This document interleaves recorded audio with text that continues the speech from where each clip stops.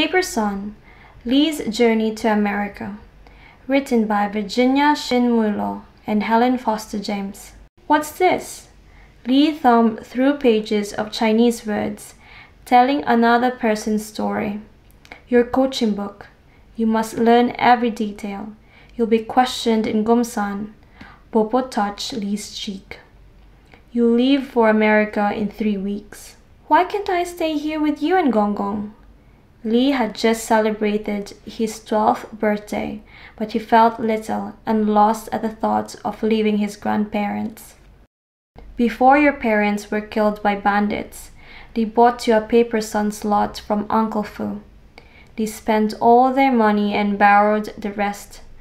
Gong Gong and I have been saving money to pay off their debts. How much did it cost? One hundred dollars for each of your years. That's too much money. Can we get it back? Lee knew they needed farm equipment and a new roof. He remembered nights he'd gone hungry dreaming of steamed fish with brown sauce and long noodles with chicken and bok choy. This is better for your future, our future. Look at the chance. Chan Ho was sent to Gumsan. Now he sends money home every month. They never worry about being hungry. I don't want to go. In Gumsan, mountains are topped with gold and streets are paved with silver. Our mountains are topped with wars, and our streets are paved with bandits. Gong Gong and I are old and sick. This is no place for you. How will you work our land without me? We'll manage. You must go and make us proud. Lee didn't want to travel to the land of the flowery flag, but knew Popo was speaking the truth. I'll go to Gumsan and send the money for food and medicine. I'll make you proud. Popo wiped away a tear. You've made me proud already. My name is Fu Li.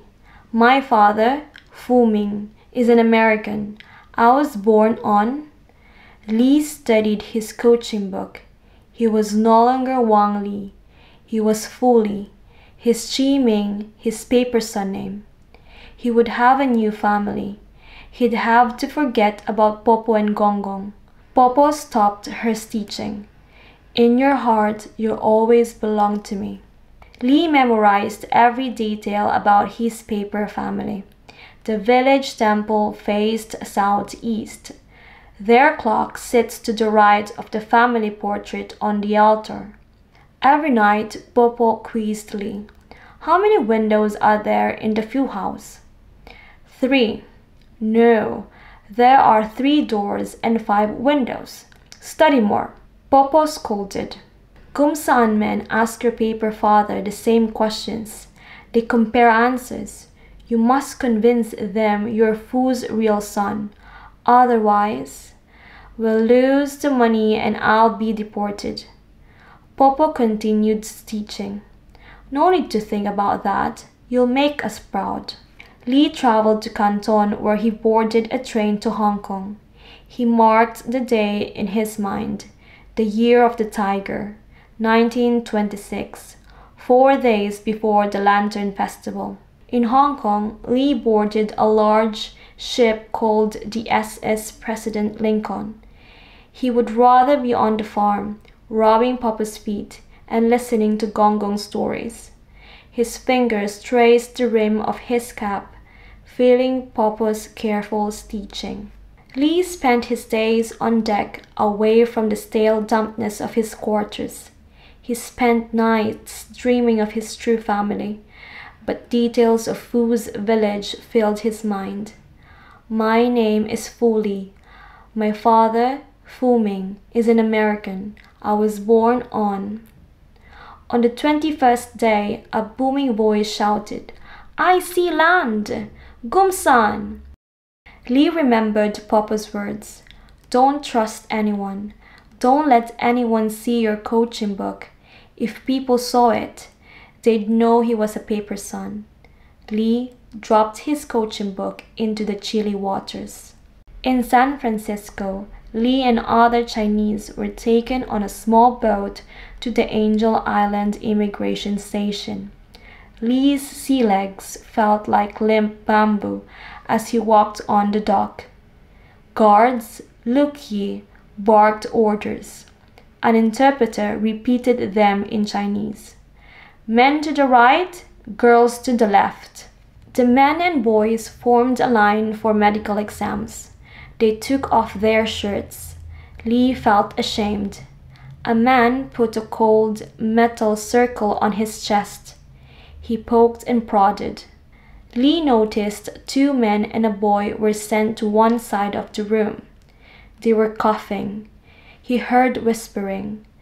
They'll be returned to China. Such shame. Lee stood tall and looked strong. The examiner nodded at Lee and pointed to the other side of the room with healthy people. Lee's heartbeat calmed. More orders were barked. Follow me to your dormitory. They were led to the wooden house, Muk-uk. Inside, metal beds were stacked three high. The lowest bunk was Lee's. Everywhere a hand could reach words were carved or written on the walls, telling stories of people who had been there before. Lee ran his hands over the Chinese characters, reading them aloud. Imprisoned in this wooden building, I am always sad and bored. A head poked down from the bunk above and said in a familiar dialect, Read more. Practice your reading. Who are you? Call me Tai.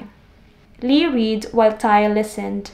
It's a pity for heroes to be contained. We can only wait. With a bang, a guard placed a bar across the door.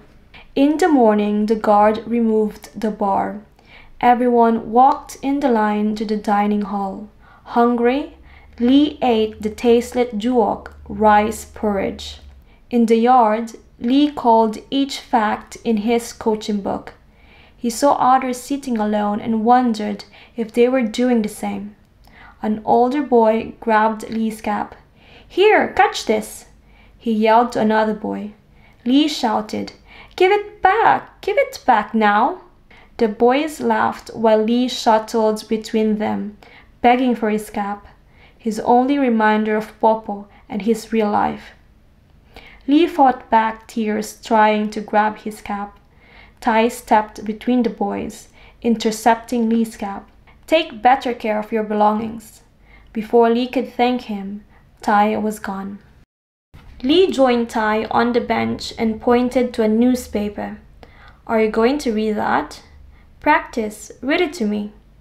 Lee read to Tai. Tai asked, Can I trust you? Lee remembered Popo's words, don't trust anyone. But Tai had helped him with those two mean boys. Lee nodded. Tai handed Lee an orange. Inside the orange peel was a note. Where did you get this? Tai said. My father paid kitchen help to pass this to me. Can you read it? Lee nodded and read the tiny Chinese characters. Baby niece born two months ago. Name is Mui. Tai bowed his head, repeating the words. Lee whispered, You're a paper son. Tai face changed. Don't say that. It's okay, Lee whispered. So am I.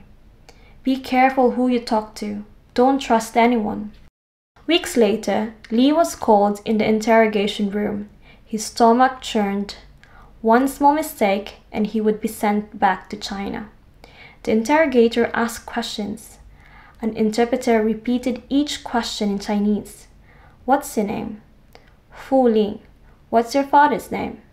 Fu Ming. Where he was born? San Francisco in Chinatown. How many windows are in your house? Three. No, five. The men looked at each other. Lee took a deep breath. Three? Five? What's your answer? I'm sorry, I'm nervous. There are three doors, five windows. Where is the rice bin? On the right side of the kitchen door. Where do you sleep? In the bedroom I share with my cousin. They asked questions for hours. Lee grew tired and confused. His cap slipped from his nervous fingers. The interpreter picked it up. He whispered, Hide this. Don't bring it into this room again. Trust me. Lee took his cap and nodded, confused as he remembered Popo and Tai's words to not trust anyone. The interrogators talked in hushed voices. Lee couldn't understand. He studied their faces. Finally, the interpreter spoke. You may return to your dormitory.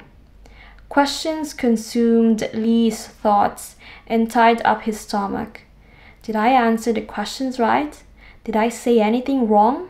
A week later, a guard led Lee to the interrogation room again.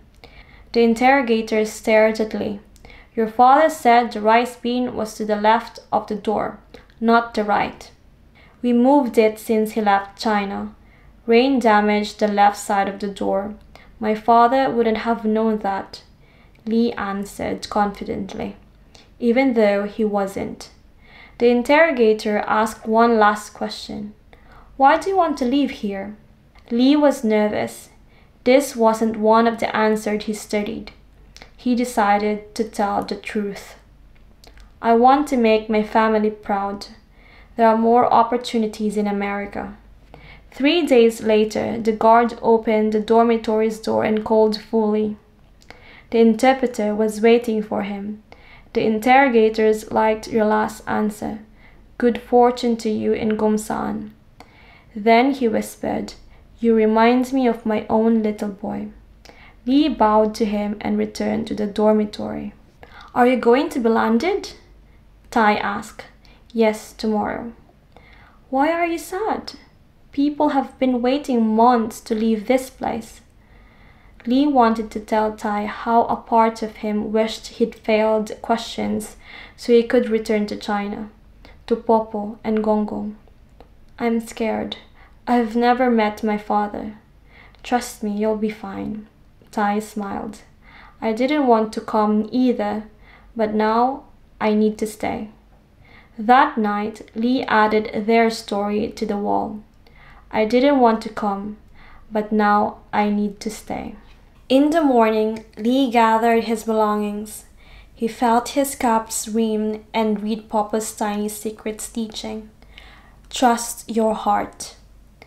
Lee put on his cap and walked out of the woodhouse. He was landed. In San Francisco, his new future greeted him. Lee welcomed his paper father like Popo had taught him. Hello, my name is Fu Li. My father, Fu Ming, is an American, and so am I.